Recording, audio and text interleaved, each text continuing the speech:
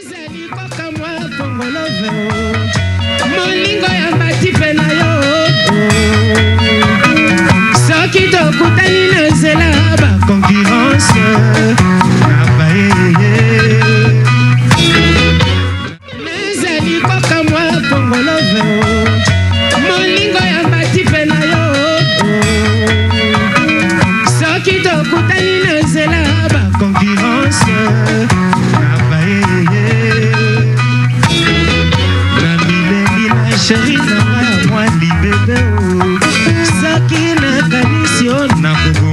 moto soki na panzi nakomela poison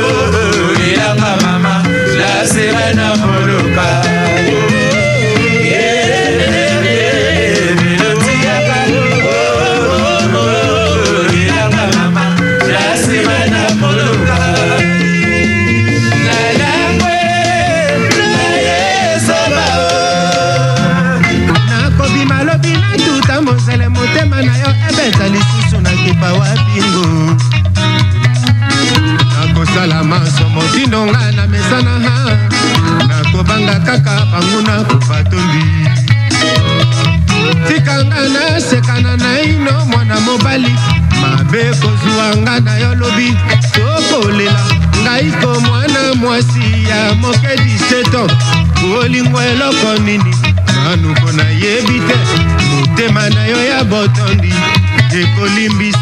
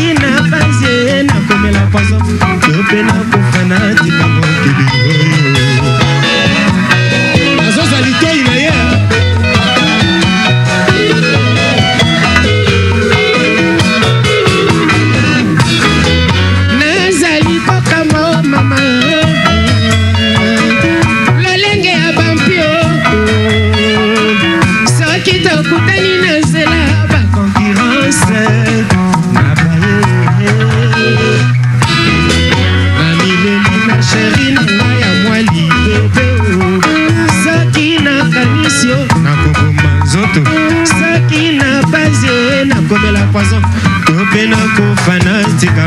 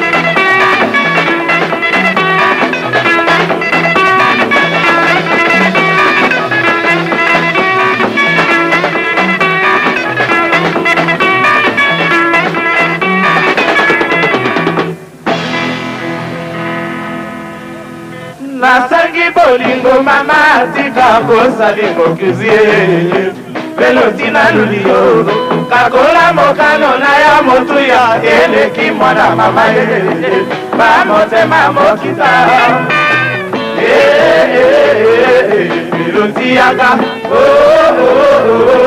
lilanga oh, oh, oh, mama lasire na moloka elotiyaka lilanga mama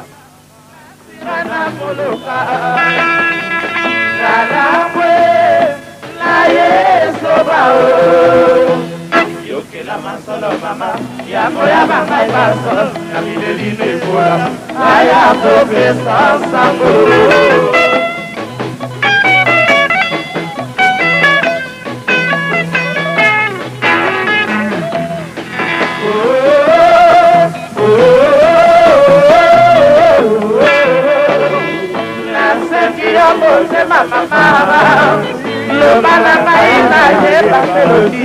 nasilisi kinshasa mpo ya koluka ya peloti eyaka nasira na moloka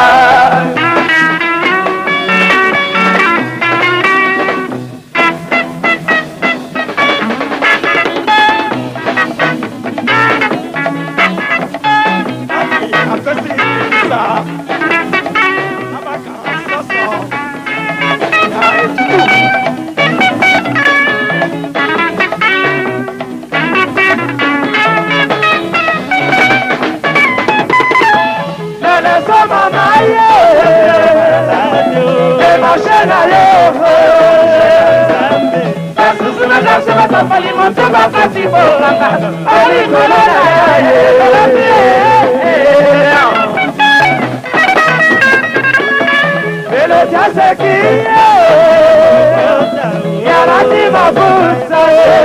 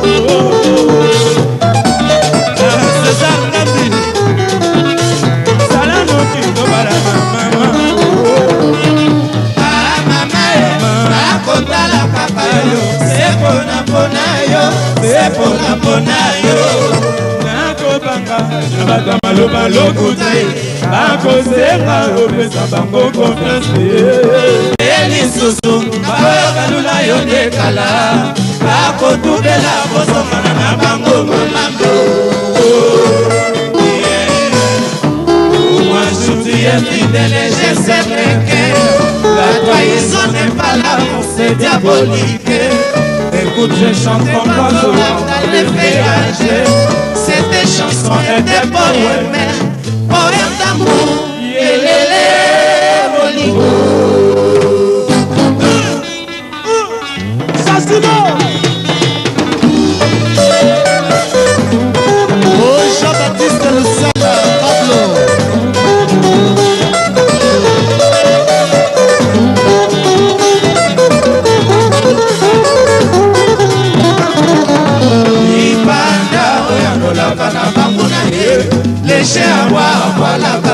pasepase libanda oyo alolaba na bango na ye leshe yabwa balabala bane pasepase nazalinga boye omana maloyo mwana maloyo mwana maloyo mwana maloyo mwana maloyo mwana maloyo mwana maloyo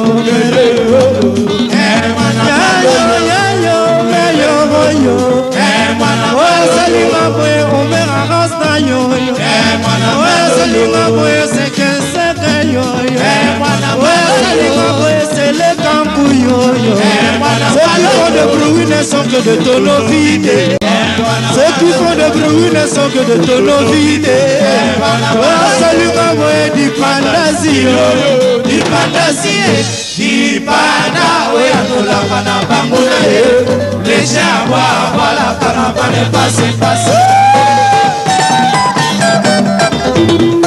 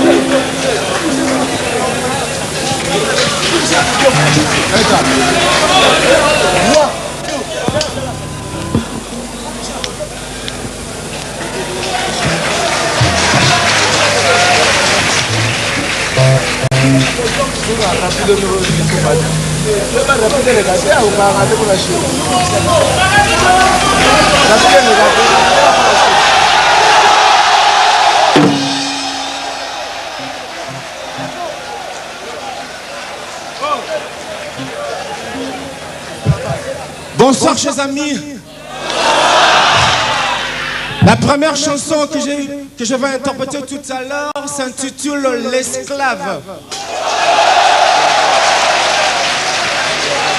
Là, je remonte un tout petit peu, quatre siècles avant, 400 ans avant, pour vous retracer l'histoire de l'homme noir.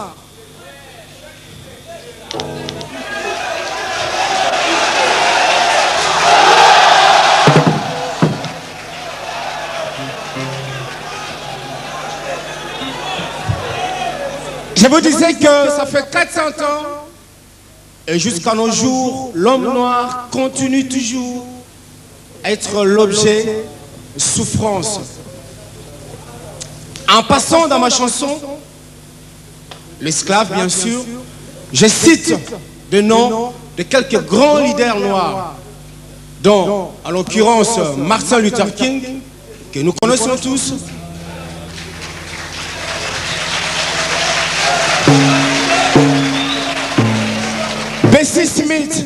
que fut une grande chanteuse noire américaine, à cause de sa maladie, l'homme blanc n'a pas pu, n'a pas voulu interner cette dame dans un hôpital où l'homme blanc dirigeait.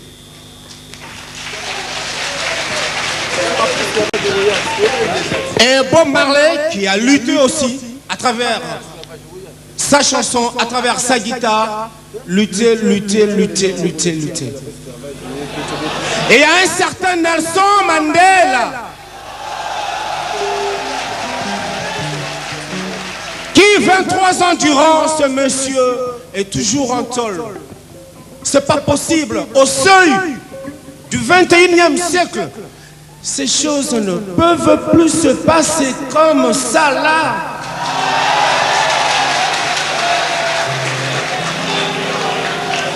Bien sûr, parce que nous n'avons qu'un seul créateur. Que tu sois jaune, que tu sois rouge, que tu sois blanc, que tu sois noir, nous n'avons que la même couleur du sang pour la sauvegarde de l'humanité. Unissons-nous. Unissons-nous pour la sauvegarde de l'humanité. Ce n'est pas possible.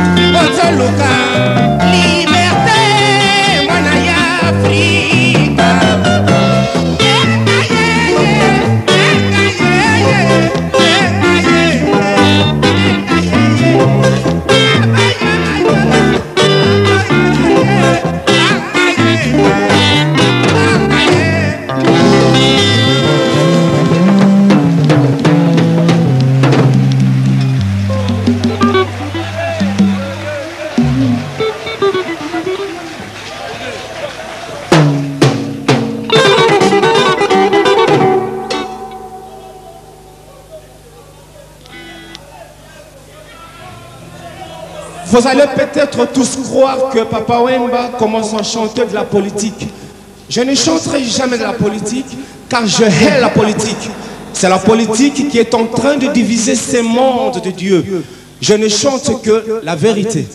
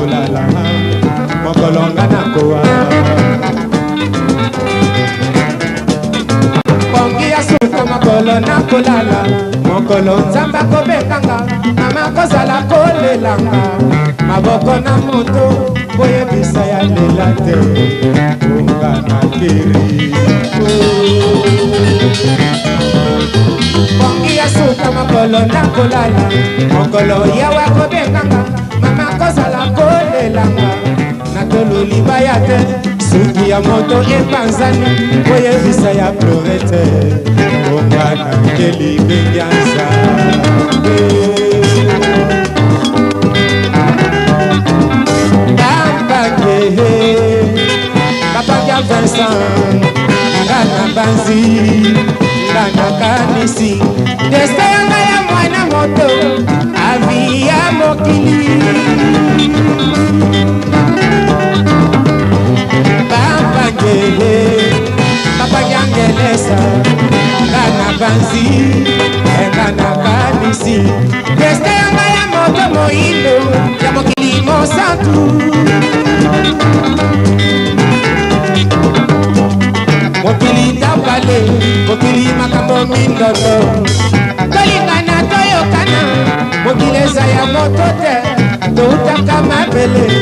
tokosonga mabele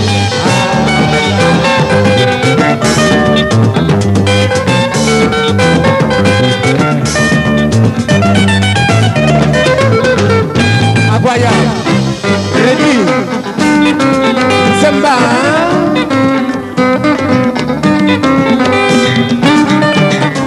mama ngai naloti na ndoto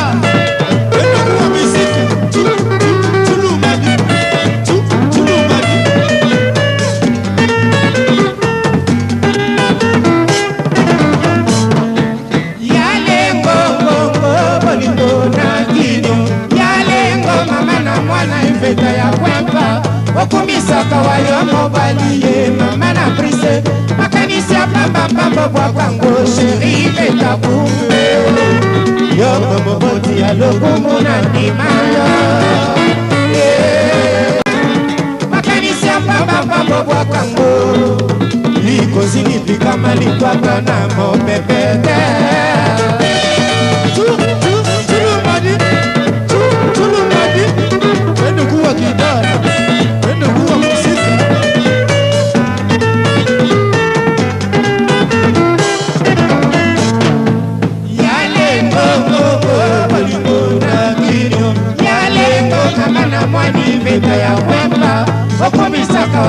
mobali ye mama na prise makanisi papa pango bwakango sheri metakumbe yoko moboti ya lokumu na bima eh, makanisi papa pango bwakango ingozini pikama libwaka na mobepete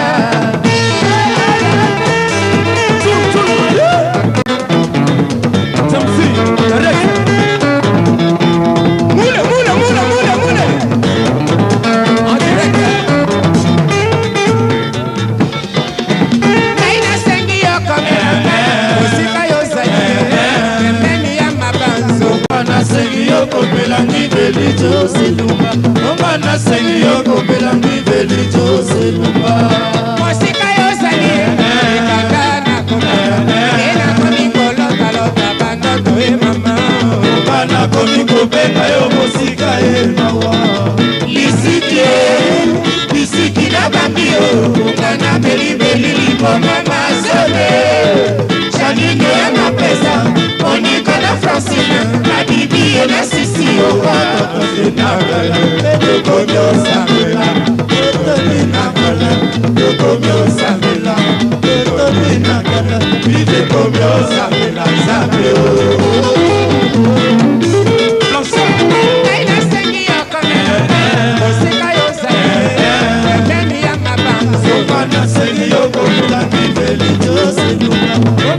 Yo comida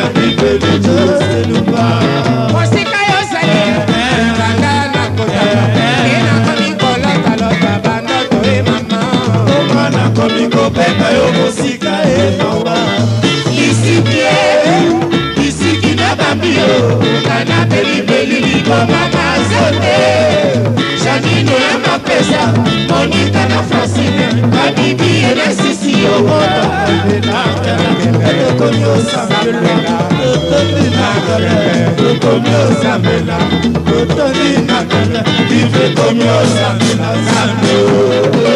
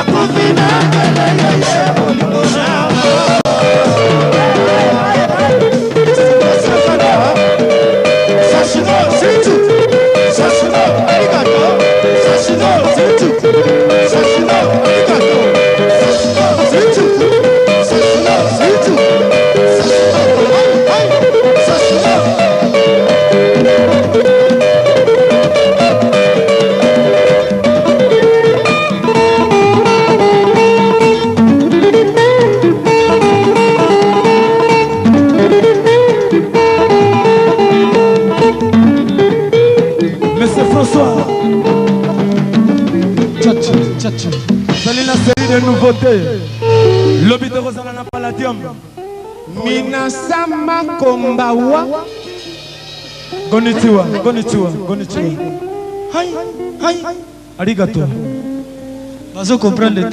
ah nous parlons japonais vous faites pas hi danser dake danser dake jose dake danser dake bozoyoka te rien kaka arigato arigato ah merci beaucoup ça c'est bien minasamba kombawa japanese bon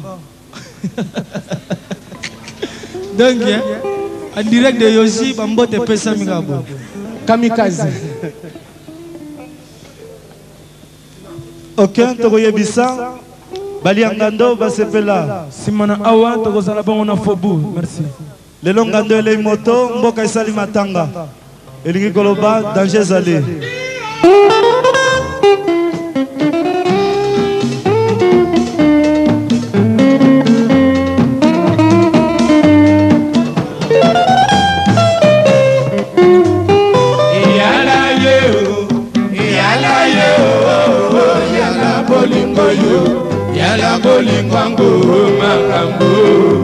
tunaka ye tunaka ye tuna bakolotu bango babanda la vikala baloba yala ye yala ye yala bolingo yo yala bolingo ango makambo ah ah césar yebisaka mpo banguna bakoti sukasuka ekobeba nabondeli yo mami koyoka kutu te nabondeli yo koyoka mpo bamayele mayo onga yeye ayekobosela ngala yeye naye koseka yo yeye otika tolinga kwelela ngana ye ngoshima ngoshima totikelanga mwasi na nga nalingi ye ye mpe alingi nga toyokanaka tokobalana elamba isipinaka nzoto endima balongolaka te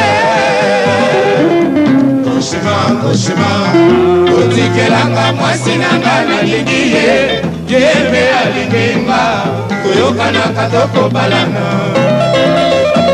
ilanga isipilaka soko ebina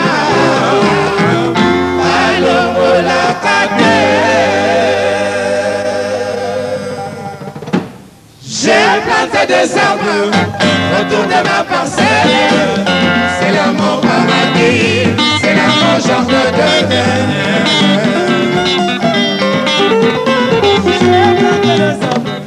Autour de ma parcelle, c'est l'amour paradis, c'est l'amour genre de demain.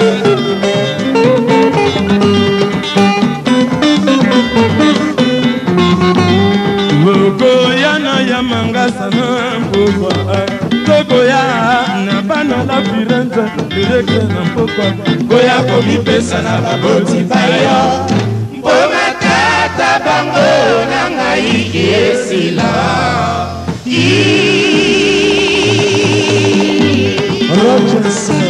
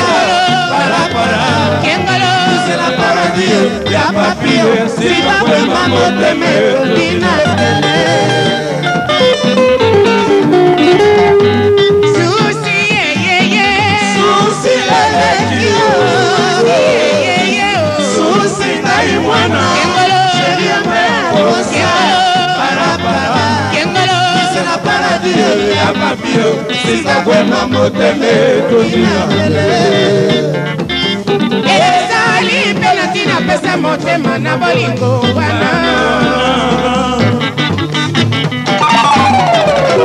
sheri yo maya bosa palasi ya bafeti na miso ya kolala na miso ya kofole sheri yo maya bosa palasi ya bafeti malasi ya kofole eh, eh, eh, biso ya kolala césar ya papi ezali mpe na ntina pesa motema na bolingo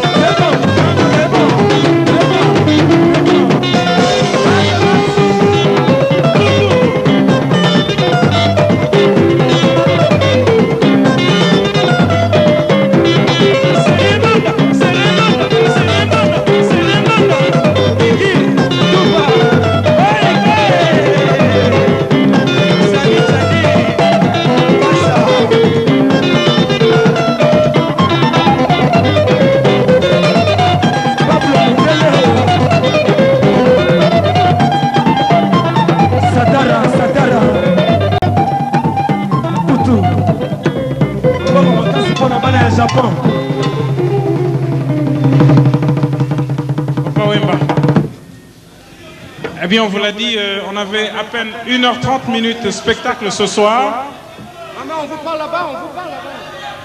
Il nous reste euh, une chanson.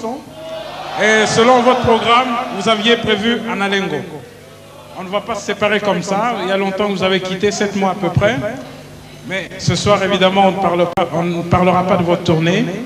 J'aimerais simplement avoir votre avis sur ce concours, puisque vous avez quand même voulu, vous avez bien accepté euh, de animé, vous êtes un Quinois, vous êtes un des grands musiciens, grands grand sapeur euh, de Kinshasa. Alors, euh, quelle est votre opinion sur ce concours euh, Kinshasa Ma Ville Ce que, que ce soit en France ou ailleurs, on ne cesse de parler de ma ville, ma ville qui est Kinshasa. Kinshasa, c'est une ville qui est très chaude, Kinshasa où les gens circulent 24 sur 24 et je remercie beaucoup les organisateurs de ce concours. Il faut que de temps en temps ce genre de trucs euh, revienne. Vraiment, j'en suis beaucoup fier et je suis très flatté euh, pour mon invitation puisque pour moi ce soir, ce n'est pas une grande télé. Euh, c'est bon, parce que je suis ami à, François Bélorger et il m'a prié écoute, que papa, fais-moi plaisir de passer à la télé. Je lui ai donné mon accord et me voici. Et pour le les téléspectateurs aussi. Et voilà, on va terminer avec euh, Analengo.